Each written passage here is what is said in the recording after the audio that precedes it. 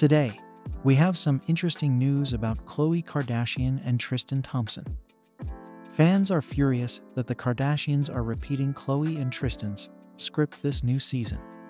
Let's get into the specifics.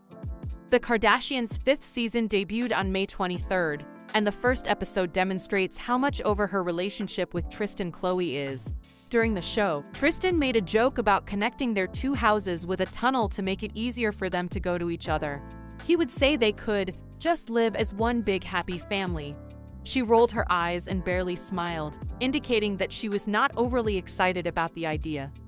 Naturally, Khloe Kardashian has changed a lot since admitting that her former partner Tristan Thompson had cheated on her once more. The founder of Good American doesn't seem to be interested in going back. She made it apparent she was done with him permanently when he fathered a child with someone else while she was pregnant. She seems to have kept her word thus far, after Tristan suggested for them to live as one big happy family. Khloe answered, no. Khloe revealed in a confessional how difficult it may be to navigate the relationship. She cautioned that it's important to avoid giving her ex any ideas at all.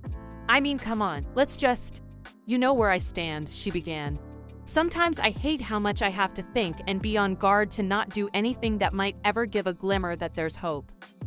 Khloe hugged Thompson after they had a brief conversation. Then, when he had held on a little too long, she persuaded him to let go.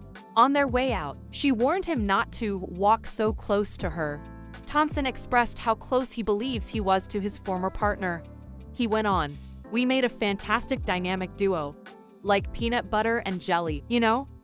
Tell us in the comments what you think about this storyline of Tristan Thompson and Khloe Kardashian talking about rekindling their relationship.